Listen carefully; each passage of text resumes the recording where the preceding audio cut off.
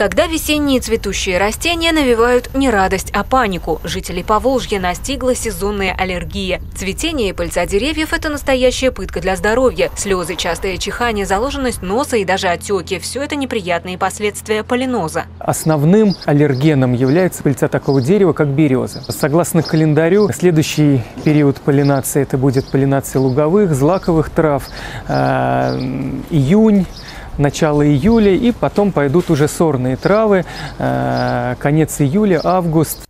По данным Всемирной организации здравоохранения, аллергией страдает каждый пятый житель планеты. Медики разъясняют, причина аллергореакции находится в самом человеке. Иммунная система видит в инородном веществе агрессора и начинает бороться с ним. Чтобы обезопасить себя, эксперты рекомендуют не употреблять в пищу продукты, которые провоцируют аллергическую реакцию. Причина возникновения аллергии – гормональное нарушение, наследственные факторы, окружающая среда, условия труда. Если есть хоть какое-то малейшее сомнение, что будет аллергия, лучше, конечно, конечно, не есть аллергенные продукты, цитрусовые, например, а, с продукты с богатым гликемическим профилем, картофель, с гликогеном. Гликоген очень часто является как раз-таки вот это фермент, который влияет на пищеварительный тракт, и переизбыток его может привести к нарушению работы ЖКТ, что и приведет к аллергическим реакциям. Для аллергиков со стажем врачи не рекомендуют долго находиться на улице, а у кого признаки полиноза появились впервые, не затягивать с визитом к врачу. Светлана Кудрявцева, Ольга Волкова, Николай Епифанов, Константин Головин. События.